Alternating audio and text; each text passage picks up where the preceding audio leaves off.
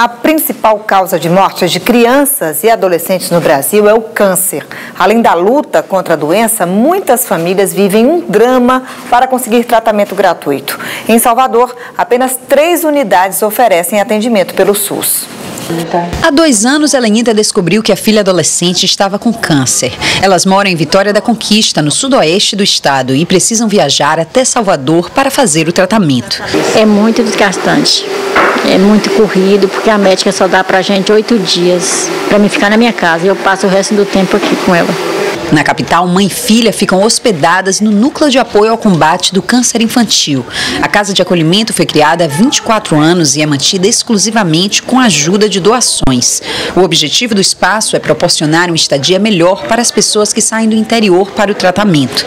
Por dia são recebidos cerca de 50 pacientes e acompanhantes. Nós damos hospedagem, alimentação, temos uma sala de aula que também funciona aqui dentro e temos um veículo que transporta os pacientes para as clínicas que nós temos parceria, levando de manhã, trazendo para o almoço, leva à tarde e traz no fim da tarde para o descanso.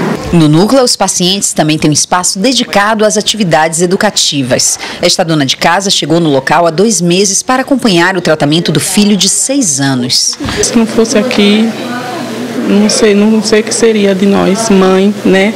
Tem pais também, os nossos filhos, que aqui eu conchego. Não, é, não como é como é nossa, nossa casa, mas temos tudo. Só tenho a agradecer. Segundo o Instituto Nacional do Câncer, a doença é a principal causa de morte entre crianças e adolescentes no país. Este ano, a previsão é de que sejam identificados mais de 12 mil novos casos nesta faixa etária. Na Bahia, existem cinco unidades que fazem o atendimento pelo SUS e três delas estão na capital. Em todo o estado são oferecidos cerca de 200 leitos para o tratamento de crianças e adolescentes com câncer. Em Salvador, o atendimento pode ser feito no Hospital Aristides Maltês, no Hospital Santa Isabel e no Hospital Martagão Gesteira, que é considerado uma referência estadual no tratamento de oncologia pediátrica. A entidade filantrópica se mantém com a ajuda de doações. A gente tem uma demanda crescente, né? E com as dificuldades financeiras, fica cada dia mais difícil poder atendê-las de uma forma ideal. Então a gente precisa de muitas doações de fato para que a gente mantenha um atendimento de qualidade para essas crianças e, e sempre atendendo toda a demanda. Este ano o hospital atendeu cerca de 370 crianças e adolescentes com câncer que vieram do interior. Brisa tem leucemia e precisou se mudar para Salvador há sete meses. A mãe dela está feliz com os resultados do tratamento, mas sofre com saudades do resto da família, que permanece distante. Eu tenho uma outra filha de três anos, que eu acabei, né, precisei deixar ela no interior.